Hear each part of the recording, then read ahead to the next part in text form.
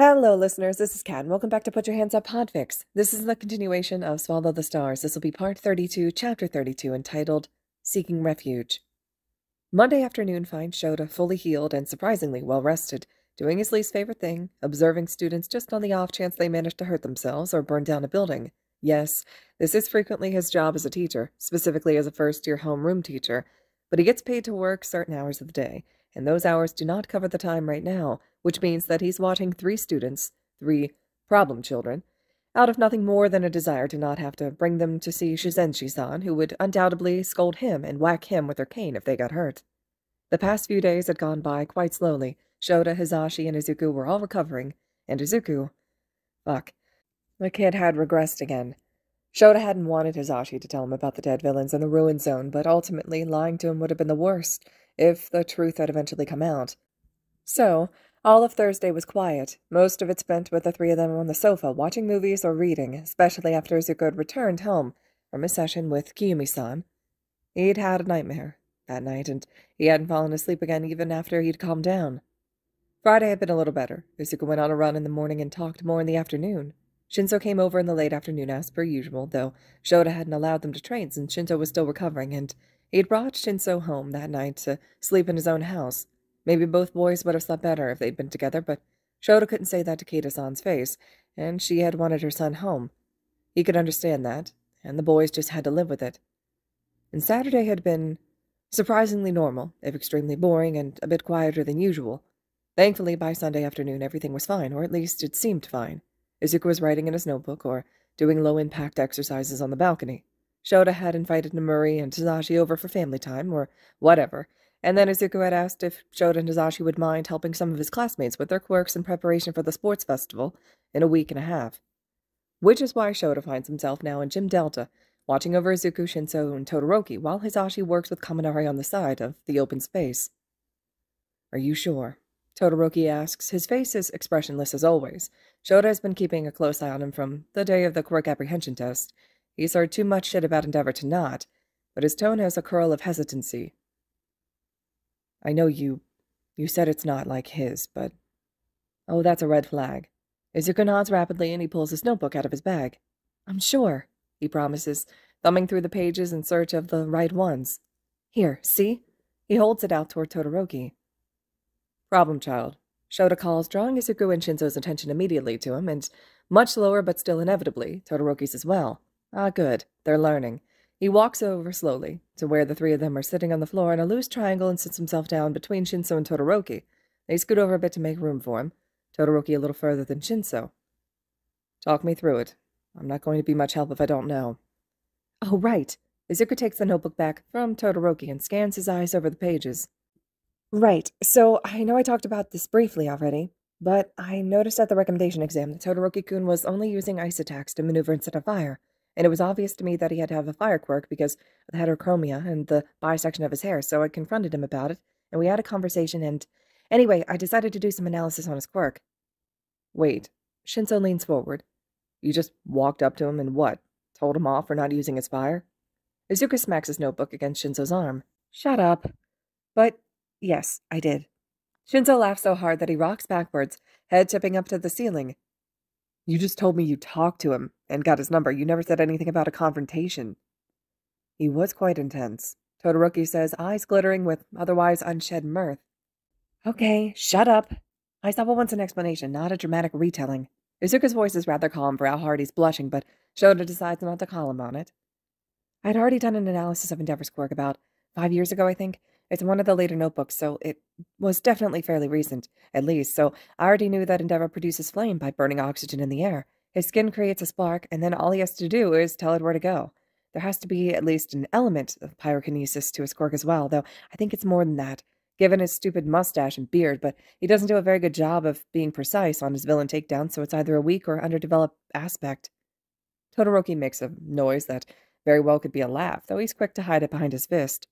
Somewhere behind Shota, Kaminari yells, That's so cool! Shota doesn't look, though. That's Hizashi's student now, and Shota wants no part of it. He doesn't need to have a fourth problem child added to his apparently increasing list. Three is plenty. Izuku, thankfully, is on a roll and doesn't pause for the distractions. But I figured that Todoroki-kun's activation couldn't be the same because he has an ice production element to his quirk on top of the fire, so I spent like three days digging around the internet looking for any video evidence of his mother using her quirk. You did what?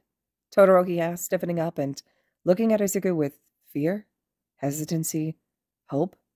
Red flag. Izuku stops, and his hands immediately tighten around the edges of his notebook as he ducks his head down and his shoulders curl up. Sorry, I suppose I should have asked you, but you don't really answer all my texts all the time, and we didn't have a lot of time between classes to talk properly, and I wanted to get this done for you as soon as possible. Todoroki's hands are clenched in fists, but he doesn't look angry, which is good because Shinso looks about three seconds away from launching himself across their loose circle and wringing Todoroki's neck if he says the wrong thing. Do you... do you still have the video? Izuku nods slowly. Can you send it to me? I haven't... He trails off with a glance at Shota. Worrisome. I haven't seen my mother in about ten years. Never mind worrisome, that's another red fucking flag. But Shota keeps his calm and moves his eyes instead to Izuku as a hand over his mouth. Uh, Todoroki-kun, I'm sorry, I really should have asked. Yes, of course, I'll send you the video. After the lesson, Shota says, effectively stopping Izuku from reaching into his bag for his phone. Focus is required when experimenting with quirks. You should know that. Izuku doesn't wince, but he does duck his eyes down. Right. Sorry, Dad. Problem, children. Shota reaches across the space and ruffles Izuku's hair. All good. Everyone okay to continue? Shinso nods. Shota has a guess that he's only here to spend more time with Izuku as opposed to actually practicing his quirk or helping at all, but Shota doesn't mind that either. You have to be blind not to see the charming effect Shinso's mere presence has on Izuku, and in a situation where destructive quirks are being experimented with, Shinso's ability to call Izuku on bullshit and recklessness is a good quality to have around. Izuku holds out a hand and a thumbs up. Eventually, Todoroki nods as well. Yes, I'm all right. Sorry for interrupting, Izuku. It's fine, Todoroki-kun. Izuku assures, looking like he wants to reach out and touch his friend, maybe take his hand or squeeze his shoulder. He doesn't, though, and instead looks to Shota like he isn't sure how to get back on track. That's fine. Shota's here for guidance, after all. What did you find out about her quirk? He asked, settling himself down with his hands on his knees. Right. Izuku straightens his spine and glances down at his notebook for a moment. Todoroki Rei, Todoroki-kun's mom, has a quirk that lets her freeze water. At its base level, that's all it is, but in the sole video I found, it was just shaky cam footage from a phone. I'm pretty sure she was making a skating rink out of a road. It wasn't raining, but the ice was thick, and afterwards it looked like the air got colder. From that, I came to the conclusion that she figured out how to use her quirk to freeze the water content in the air, but of course, the water content of our atmosphere is like 5 or 6% at best, so she probably has some sort of hydrokinesis or hydroproduction element to her quirk, allowing her to move or produce water vapor at will. Given the amount of ice that she produced in the video, I'm willing to bet it's hydroproduction. And she can flood an area with water vapor and then control where the ice forms within it. Shota doesn't raise his eyebrows or react in any external way to Izuku's deductions. This is far from the first time that he's listened to his son break down a quirk with just the barest bit of visual information. And the most impressive part is that Shota knows that all this analysis was almost instantly registered in Izuku's brain, that the most time-consuming thing Izuku does with this analysis is write it down, or figure out how to communicate it in a way that other people can understand. The analysis lessons that Shota had given to Izuku when they first started training had never been about improving the quality of his analyses. It had always been about teaching him how to communicate them. Because eventually, Izuku is going to be in the field, and he's going to have to learn how to say something like, Water vapor production, ice creation, and manipulation, long range advantage, so get in close, and be satisfied with it. But here, in the echo chamber of Gym Delta, Izuku has the floor and he can use it however he wants, and Todoroki is hanging on to every word with wide eyes and a slightly open mouth. You got all that from a shaky phone video? He asks, and the awe is so evident in his voice that Shota looks away, making eye contact instead with a smirking Shinso. Oh, I, um, yeah, I mean, Izuku swallows audibly, and he's blushing and looking up at the ceiling when Shota turns back to him. I could have done a lot more if the video was any longer. Five seconds isn't much to go on. Shinso gives a low whistle. Holy shit, Izuku. That has to be a new record for you, right? Shortest video for analysis purposes ever? Izuku nods just once. Even the old heroes who didn't have videos still had entire sections dedicated to them in the books I read. This was literally all I could find on Todoroki-kun's mom. I'm sure it's by design, Todoroki says. Please don't think you need to apologize or anything. My father always kept my mother a secret. Fuck, stop with all the red flags, Jesus Christ. Todoroki, Shota shifts a little so he can give his full attention to the boy. Thankfully, Todoroki turns to him as well and nods to indicate that he's paying attention. After this, if you're comfortable with it, I would like it if you told me about your family situation. He's heard Izuku's guesses, but he wants to hear it confirmed from Todoroki. When Todoroki starts to close himself off, Izuku reaches out and grabs his hand, giving it a tight squeeze. Todoroki-kun, look at me. It takes a moment, but he does. Izuku's smile is soft and bright like a sunrise. Dad can help. Maybe he can't fix it completely, whatever's wrong, but he can help. And he's not going to blame you. Believe me, if he was going to blame anyone for terrible things that happened that were out of his control, it would be me, but he adopted me instead, so I think you should tell him. This kid. Todoroki spends a long moment staring at Izuku before his eyes move across their little circle to Shinso. And you? Shinso blinks. What? You want my opinion? Yes. Izuku trusts you implicitly. I would like to know what you think about this. With a shrug, Shinso straightens up a little and glances at Shota. Look, there are a lot of shitty adults in the world. He turns back to Todoroki with raised eyebrows. I think we all know that, so there's no reason to dance around it, but Aizawa-san isn't one of them. He's a bit of a hard-ass, sure, but that's just because he wants us to not die, you know. Before I met Aizawa-sensei, no adult ever listened to me besides my parents, but he listened and he helped. Aizawa-sensei and Yamada-sensei did everything they could to help me when they absolutely didn't need to.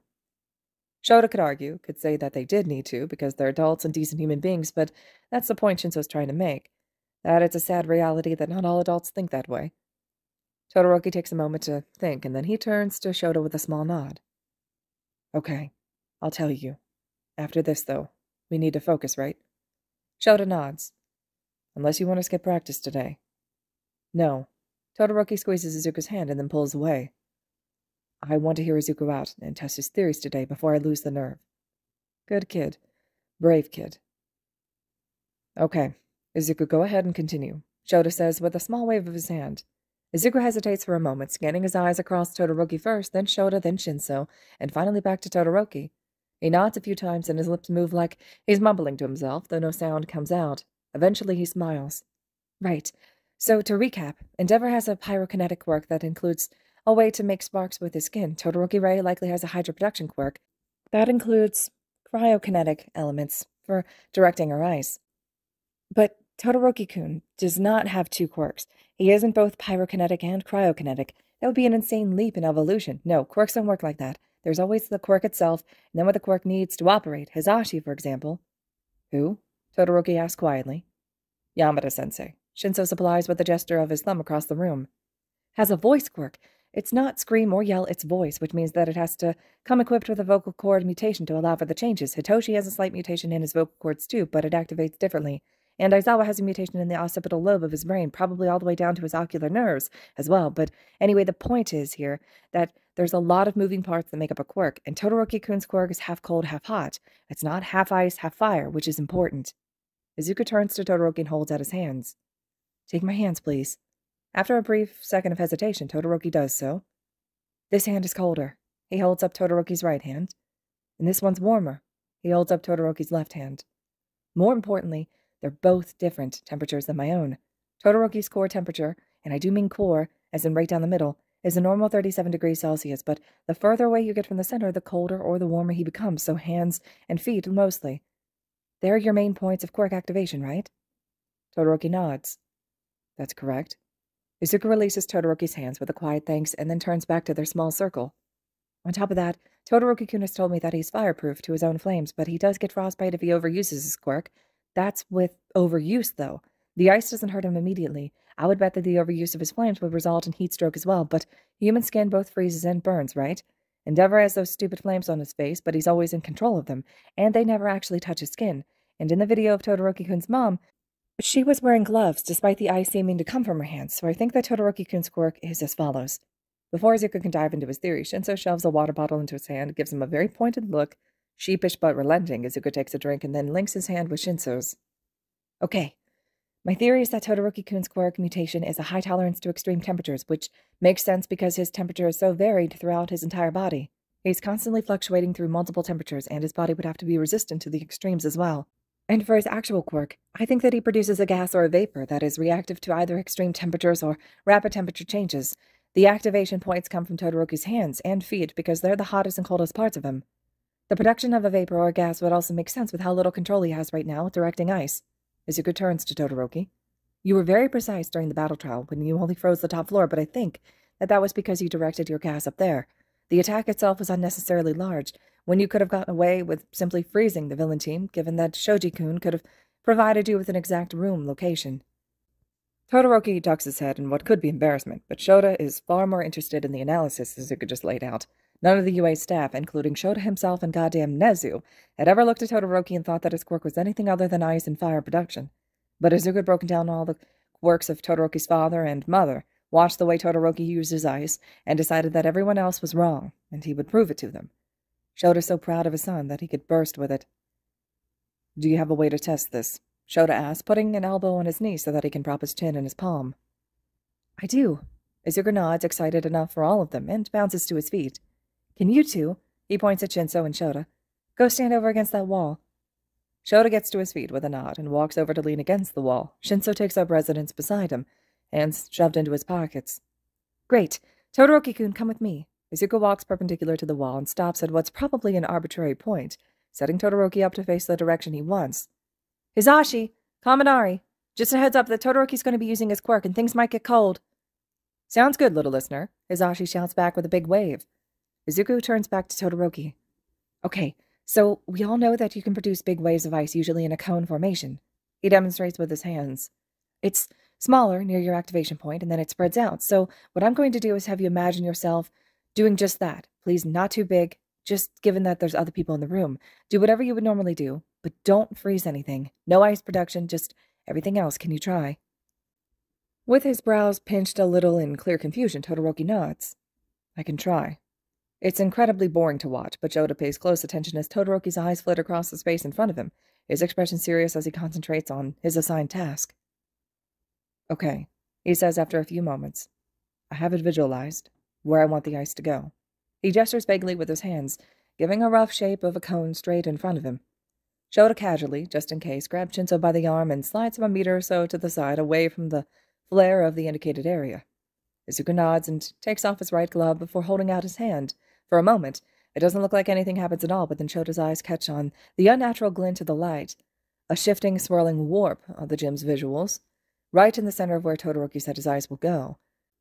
It's only there for a moment, less than two seconds, and then Izuku slides his glove back on and it vanishes. Freeze it, he says, eyes trained forward. The fingers of Todoroki's right hand splay out in a smooth, fast motion, and then the entire quarter of the gym is covered in ice. Wait, no. In the center of the widest part of the cone is a hole. It's a little jagged around the edges, but it's about two meters in diameter. There's no ice at all anywhere near the center of it. Shota looks to Izuku, who's beaming at Todoroki. See? Izuku asks, practically bouncing on his toes. I... I do see, but... Todoroki swallows his eyes, blinking rapidly. But I don't really understand. Izuku. Shota calls for his attention as he walks over to the ice and hops over it into the circle. It's freezing cold in the middle of this ice, but there's really no ice anywhere inside of this hollowed out two meter hole. He hops back out, not feeling like getting frostbite today. You put a black hole down, didn't you? Right here? Mm-hmm. Izuku runs over to Shota and jumps up onto the ice. He slips, but catches his balance quickly. I dropped it before Todoroki froze it, though, which means... The black hole didn't clear away the ice. Todoroki says shock splayed all over his face. It cleared away something else. Izuku nods frantically, laughter and delight spilling off of him in waves. See? Isn't this cool? We could probably bottle up whatever substance you produce and burn it with a normal lighter or something, Todoroki-kun. It's your quirk. It's your power, yours alone. And Todoroki just sits down and puts his head in his hands.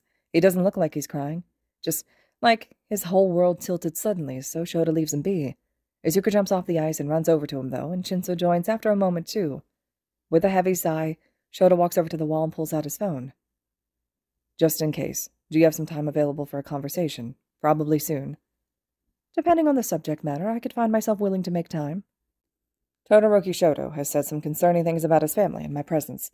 He is going to tell me more about it here in a few minutes. I might need to see if you can manage to make him a ward of the school given the whole number two hero issue. I see. I will look into it. Please let me know if you are for sure stopping by. I'm assuming Izuku-kun will be with you as well. Likely Shinso too. Tea for five, then. Understood. With a glance at his gaggle of problem children to make sure they're all still okay, they are, from what he can see. Shota then walks across the gym to where Hizashi is instructing Kaminari. Can I interrupt for a second? he asks, watching from a safe distance as Kaminari shoots a line of arcing electricity from one hand to the other. Sure, Hizashi says, flashing Kaminari a set of finger guns. Keep doing that, listener. You're doing great. I'm just going to go talk to your grumpy homeroom teacher for a moment.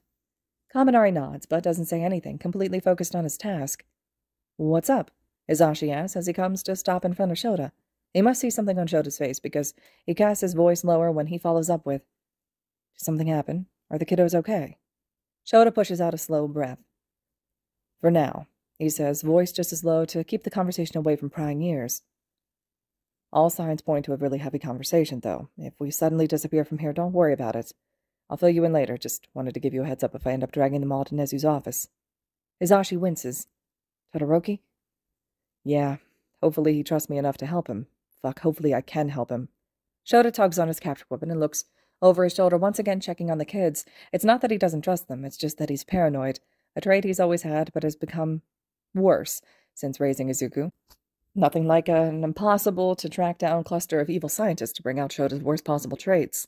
Hizashi sets a hand on his shoulder and squeezes. If you need to take them somewhere else, that's fine. Do what you have to do. He looks past Shota for a moment and smiles. You can leave the ice, too. Might be fun to see what Kaminari can do with it. Shota drags in a breath, lets it out, and drags in another.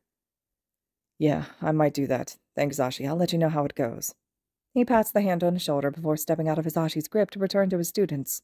Shinso's the first to look up at his approach, which is surprising because it's usually Izuku. Oh, Izuku's left side is facing Shota right now. Fucking shit. Shota still needs to punch Yagi for that.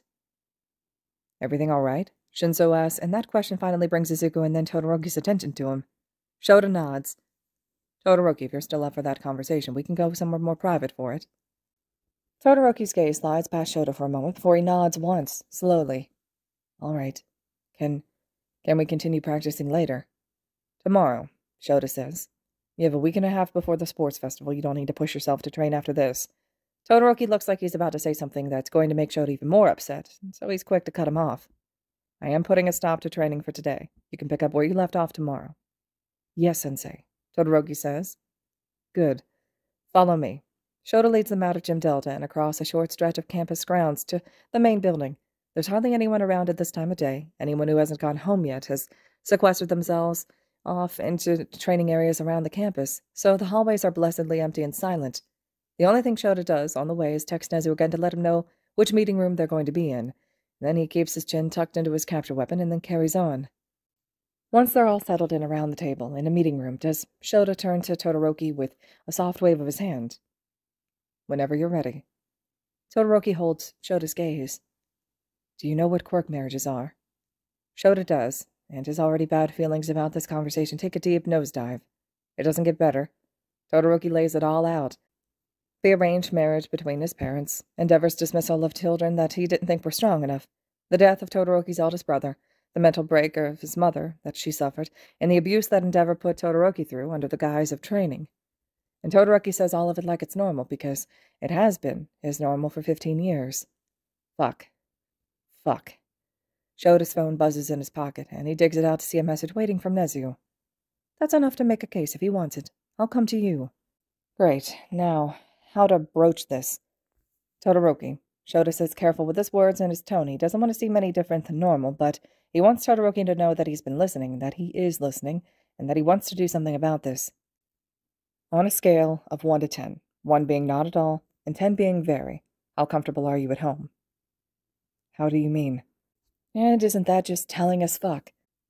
Izuku saved Shota from fumbling around because Izuku is a good, no-nonsense kid who has already built a rapport with Todoroki. Do you like living at home? Izuku asks after clearing his throat of the threat of tears. He looks sad still, but more than that he looks furious, the anger behind his eyes barely contained. If you could leave, if you could live anywhere else, away from Endeavor, would you?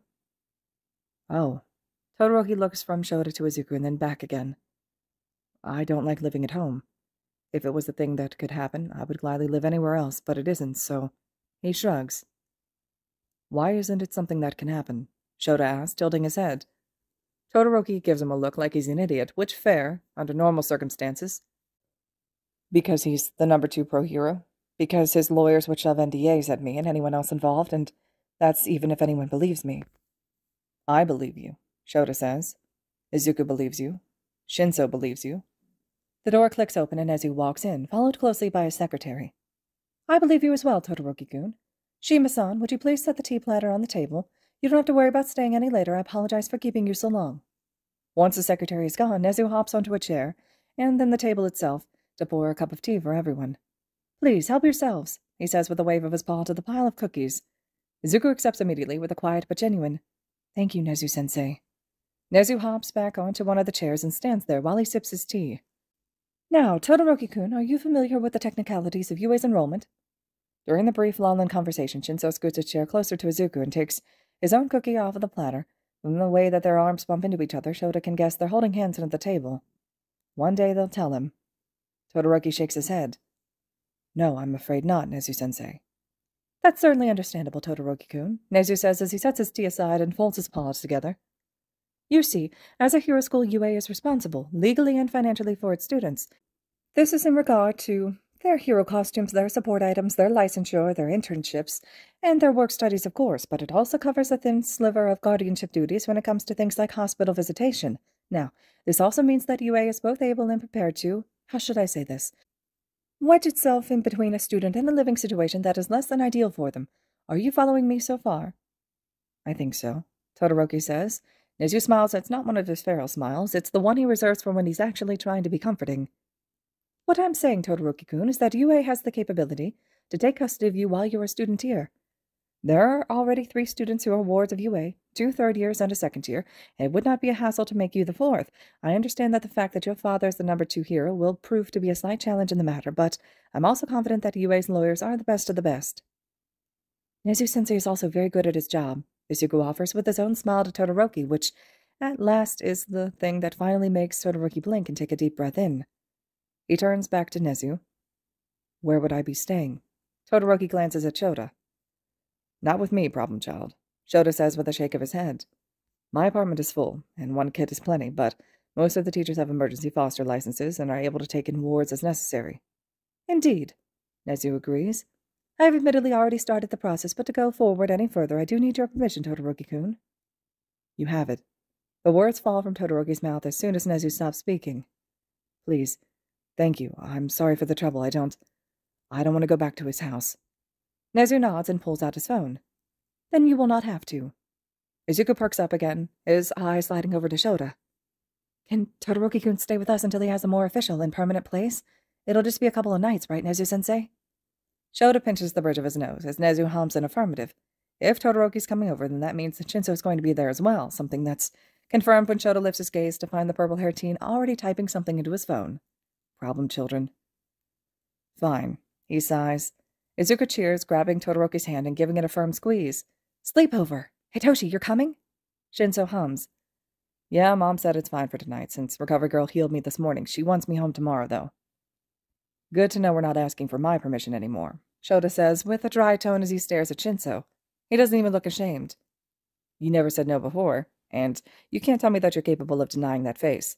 He points at Izuku's beaming smile and crinkled eyes, and yeah, fine, he has a point. Damn kids.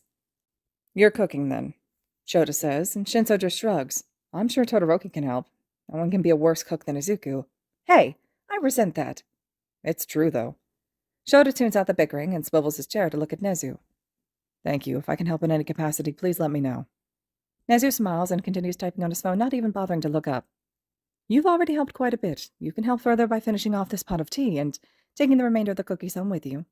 Finally, Nezu pockets his phone and pats Shota on the arm. I'll have a better report for you in the morning. Take care, Aizawa-san. And then he hops off the chair, walks out of the room, leaving Shota to wrangle three emotional and excessively loud teenagers. All right, listeners, this concludes chapter 32 of Swallow the Stars. Chapter 33 is next. Hope you all are still enjoying this fic, and as always, thank you so much for listening.